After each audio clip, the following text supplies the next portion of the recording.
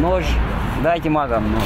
Ежедневно только на этой точке продавец Рахман продает по 200-300 арбузов. Сейчас у него в ассортименте есть абсолютно все. Арбузы из Киргизии, Казахстана и даже российские появились на его прилавке. Полосатую ягоду, не скупясь, разрезал при нас. На пробу. Очень вкусно. А какие больше всего берут? Астраханский. Самый вкусный арбуз, вот как первая любовь.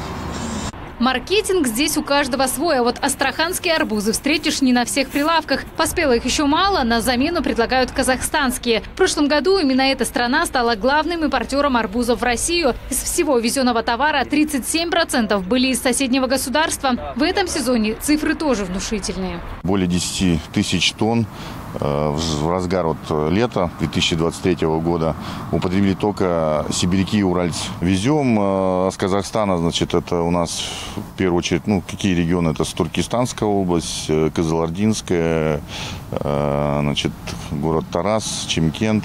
Цены на сладкую ягоду в Тюмени варьируются с 25 рублей до 45 рублей за килограмм. В Казахстане они, естественно, дешевле. В эти выходные по счастливой случайности мы оказались там, и уехать без арбуза было сложно.